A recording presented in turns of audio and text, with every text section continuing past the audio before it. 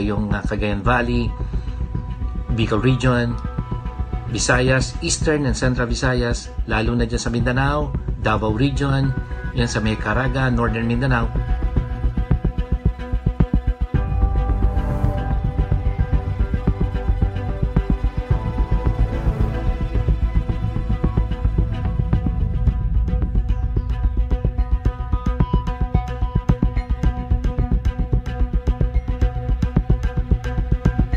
Ang epekto ng La Nina dito sa Metro Manila at sa western sections of Luzon and Visayas will be felt dito po sa mga susunod na taon pa.